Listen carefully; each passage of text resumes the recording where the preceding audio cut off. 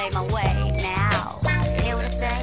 Hear what I say? Makes it all seem hopeless. Locking pending cancellation. The locks will open soon to continue determination. Restless infection destroys spiritual vaccination. And I will head for my destination. So I stand alone. the first piece that I made was a lemon.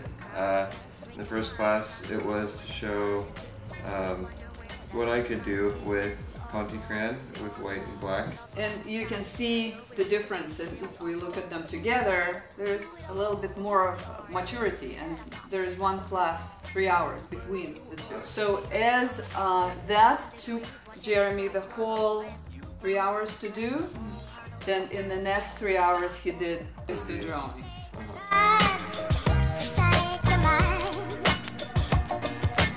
This would be the second uh, subject, uh, learning how to create 3D, control light and shadow with Conté crayon. Uh, the project was to learn how to express metal, silver, gold, how to express shiny, which is going to be very important in the profession that Jeremy is choosing. And drawing it upside down was one of the best things she could have told me. And over the time that I made this, I learned a lot about how to show shine on the metal.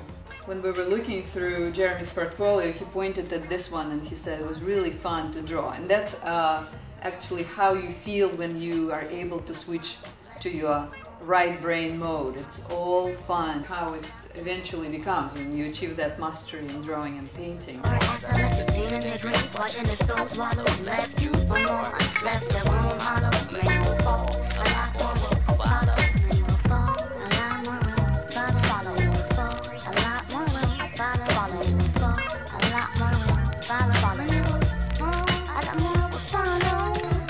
And uh, uh, that accelerated learning method that we're presenting here allows everybody, as you see, progress within hours, within weeks, in a very noticeable way.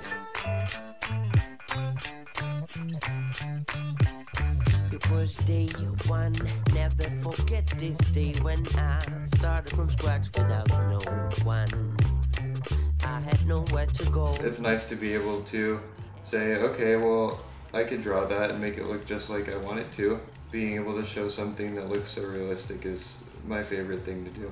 A lot of people go through four years of college and have to have uh, work experience and all kinds of other stuff to be able to learn these skills that I've learned here. It has taken about 10 months. Yeah, about 10 months here. since January and uh, it's now November.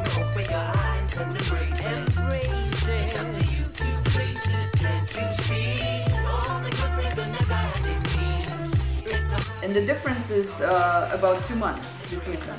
You to face it.